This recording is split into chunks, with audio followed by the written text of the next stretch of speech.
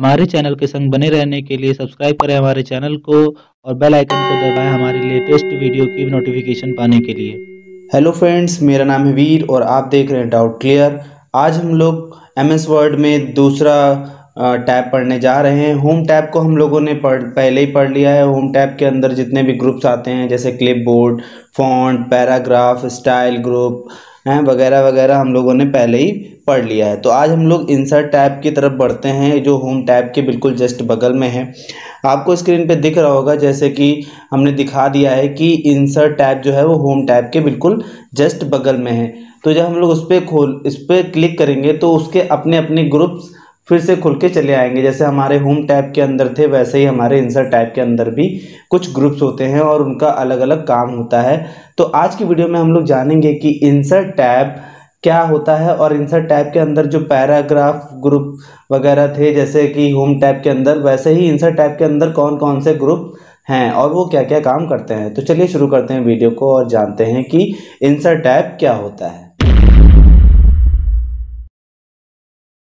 तो चलिए शुरू करते हैं वीडियो को और जानते हैं कि इंसर्ट टैब क्या होता है। देखिए होम टैब में जब हम लोग पढ़ रहे थे तो उसमें कई सारे ग्रुप्स आए थे। उन सब ग्रुप्स के बारे में हम लोगों ने ज़िक्र कर लिया था। पिछली वीडियोस अगर आप लोगों ने नहीं देखी है तो प्लीज़ जाइए और उन सारी वीडियोस को देखिए और उसके बाद आप इंसर्ट टैब भी देख सकते हैं।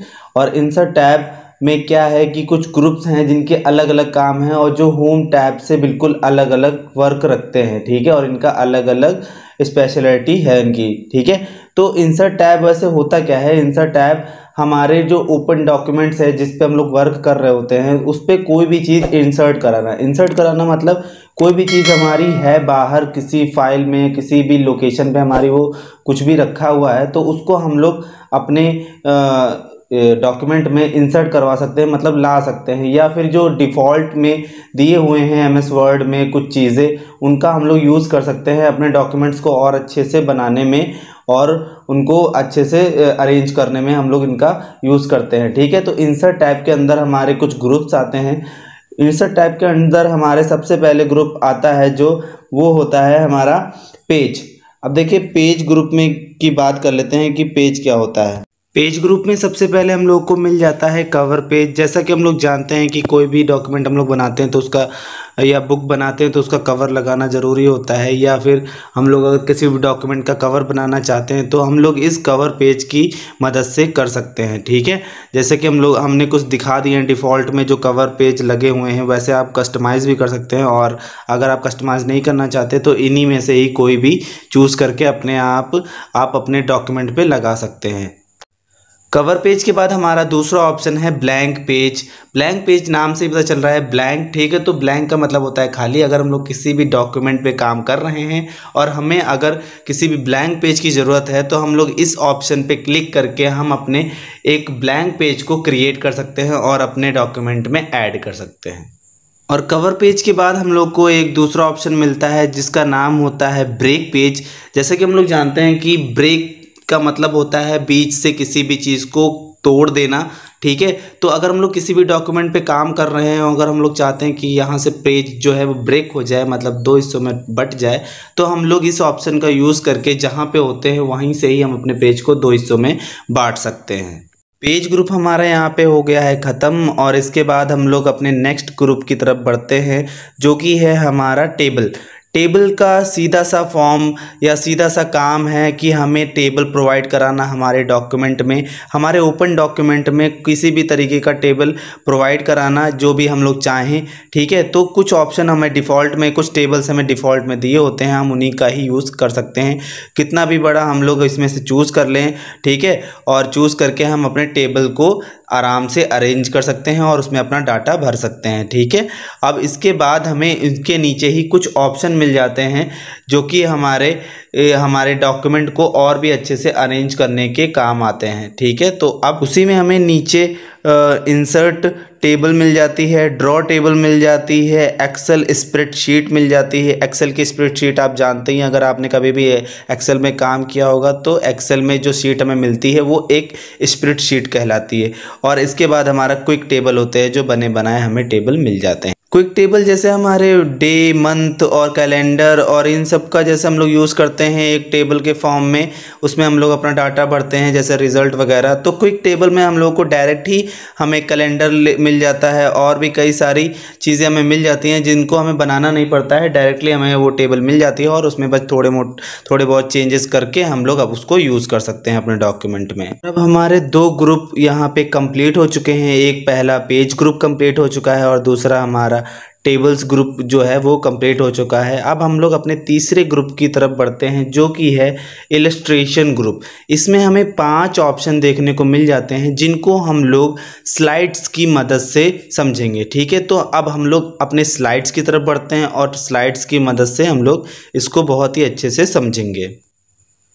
इलिस्ट्रेशन ग्रुप में हमें पाँच ऑप्शन देखने को मिल जाते हैं, जिसमें कि पहला है पिक्चर्स और दूसरा है क्लिप आर्ट तीसरा है हमारा शेप्स और चौथा है हमारा स्मार्ट आर्ट और पांचवा है हमारा चार्ट ठीक है? तो इन चीज़ों को हम लोग शीट्स की मदद से समझेंगे, ठीक है? ये पीपीटी की स्लाइड्स है और इन स्लाइड्स की मदद से हम लोग इसको बहुत ही अच्छे से समझेंगे। तो देखिए इसमें क्या लिखा है? this option is used to insert image and pictures on the open document. It can insert the pictures located anywhere in the system. ठीक है तो इसका मतलब ये है कि अगर हम लोगों को कोई भी टाइप की पिक्चर इंसर्ट करानी है हमारे ओपन डॉक्यूमेंट में तो हम लोग इसको बड़े ही आसानी से यहाँ पे इंसर्ट करवा सकते हैं अपने किसी भी डॉक्यूमेंट अपनी किसी भी लोकेशन से अपने सिस्टम की किसी भी लोकेशन से हम लोग अपनी कोई भी इमेज जो है, वो हम अपने डॉक्यूमेंट में इंसर्ट करवा सकते हैं। इसके बाद आता है हमारा क्लिप आर्ट क्लिप आर्ट का हमारा काम क्या होता है? These are the image present in M S office ठीक है? और and these image can be inserted by this option मतलब क्या है कि भैया, हमारे एम एस वर्ड में कुछ इमेजेस जो होती हैं, वो डिफ़ॉल्ट में पड़ी होती हैं, ठीक है? जो एक स्टिकर के रूप में या इमेज के रूप में आप कह सकते हैं या पीएनजी के रूप में आप कह सकते हैं, पड़ी होती हैं, जिनका यूज़ हम लोग अपने डॉक्यूमेंट में यूज़ करने के लिए करते हैं, ठीक? तो इन, इसकी मदद से हम लोग अगर हमें कहीं भी इमेज नहीं मिल रही है तो हम अपने लोकल में ही मतलब अपने एम एस ऑफ़िस में ही इसका यूज़ करके हम एम एस ऑफ़िस की इमेजेस को अपने डॉक्यूमेंट में यूज़ कर सकते हैं। और भैया, अब हमारा आ गया है तीसरा ऑप्शन जो कि है शेप्स देखिए शेप्स जो है, वो इसमें, इसके नाम से ही पता चल रहा है कि इसमें कई सारे शेप्स होते हैं, जिनका यूज़ हम लोग अपने डॉक्यूमेंट में करते हैं। और इसके अंदर अगर हम लोग अगर कुछ भी कंटेंट लिखना चाहें तो इसके अंदर हम लोग कोई भी कंटेंट लिख भी सकते हैं।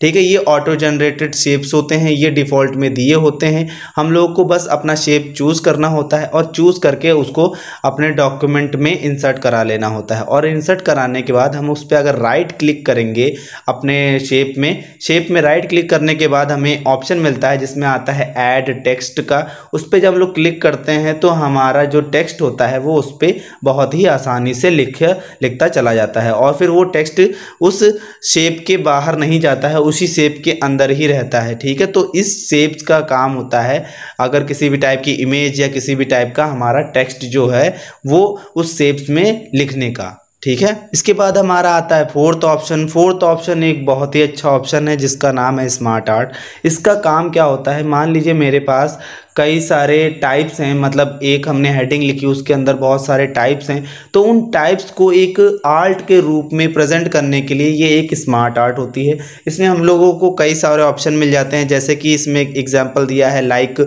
साइकिल ऑर्डर और हेरिजिकल ऑर्डर जो है, वो हमें इसमें दिया हुआ है। ठीक? तो इसका काम क्या होता है? जैसे मान लीजिए मेरा एक कोई भी हेडिंग है, उसके अंदर खूब सारे और सब हेडिंग्स हैं मतलब उसके टाइप्स हैं तो इसको वो एक ट्री के हिसाब से और एक असेंडिंग और डिसेंडिंग ऑर्डर में एक ग्राफ की मदद से बहुत ही अच्छे से रिप्रेजेंट कर देता है। अब हमारा एक लास्ट ऑप्शन आता है, जो इलेस्ट्रेशन ग्रुप का एक लास्ट ऑप्शन है। इसमें क्या होता है, जो कि है चार्ट इसमें क्या होता है, जो भी हमारा डाटा होता है, वो एक ग्राफिकल फॉर्मेट में हमें रिप्रेजेंट कराने के काम आता है। और इसके कुछ टाइप्स होते हैं, जैसे कि column chart bar chart pie chart line chart ठीक है? ऐसे और भी कुछ टाइप्स होते हैं जो हमें क्या कहते हैं? हमारे डाटा को रिप्रेजेंट करने में यूज़फुल होते हैं। ये सिर्फ़ हमारे डाटा को, हमारे जो भी टेक्स्ट होता है उन सब चीज़ों को एक ग्राफ के फॉर्मेट में रिप्रेजेंट करने में हेल्प करता है।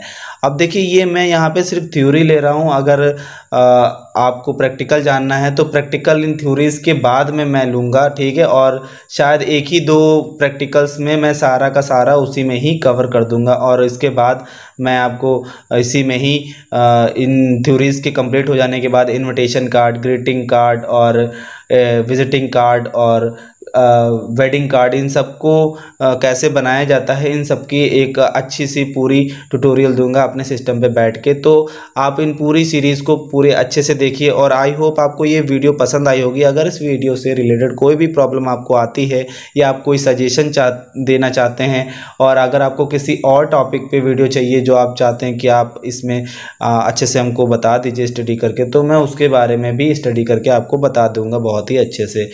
तो अगर आपको ये वीडियो पसंद हो तो आप अपने फ्रेंड्स के साथ इनको शेयर करिएगा, इस पूरी प्लेलिस्ट को शेयर करिएगा और हमारी पूरी प्लेलिस्ट को अच्छे से देखिएगा और आई होप आप इस वीडियो को लाइक करके भी जाएँगे। Thank you